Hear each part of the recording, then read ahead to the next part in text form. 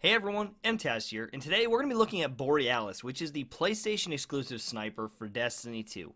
This bad boy is pretty damn good in PvE content as it has a unique perk that helps it to take out enemy shields, and when you do, Ionic Return will actually return a shot from your reserves into your magazine. So, that first shot that you send towards the enemy and pop his shield, it's going right back in so that you can then shoot him in the face.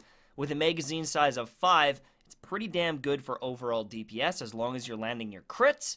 And this exotic sniper has the added bonus of being able to switch between solar, arc, and void damage. So if you're doing something like a Prism Nightfall, whenever that damage is changing, you can switch it on the sniper rifle and follow along.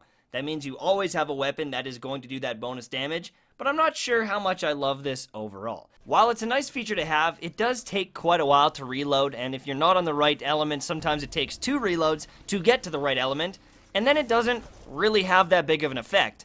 You have to remember, any elemental damage will pop shields faster on enemies, and matching elements only does the bonus damage, the bonus kind of explosion of AoE. So it's not going to change things up that much if you're matching elements, and snipers overall feel pretty average in PvE.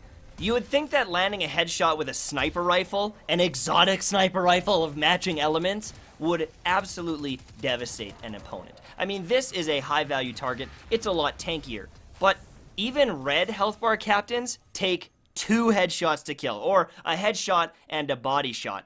That seems a little harsh considering these bastards teleport around and at times can be frustrating to shoot.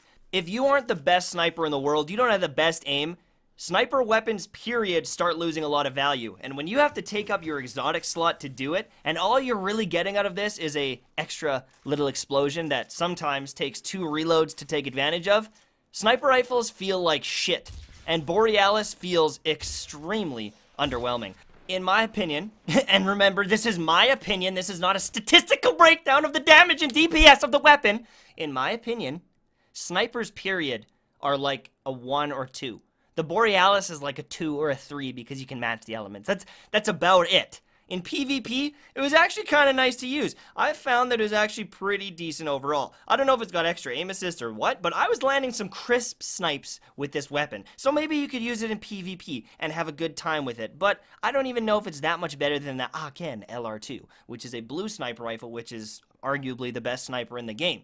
So, is the Borealis a great weapon? Meh. It's not really. It's it's super underwhelming. It's not great. It's cool. It's unique. But the exotic perk on this thing, if that was on the hard light instead of the one that the hard light has, hard light would be a top tier PvE weapon. Being able to switch your auto rifle's element on the fly god tier, amazing weapon. But when you have to do it on your power weapon and it still takes like two shots to kill something, Borealis is a big bag of dicks, in my opinion. It's it's like a it's like a truckload of dicks. Um, actually, MTashed. I did actual DPS calculations, and based on the impact range, and the magazine size, and the elemental damage burn bonus, this is actually one of the top tier DPS weapons in the- Shut up! This gun sucks. And that's final. That's law. If you use the weapon, I get to punch you in the face. I'm just kidding. You can use this weapon if you want to. That's it from me. Hopefully you enjoyed the video, and I'll see you soon, my friends. Bye-bye.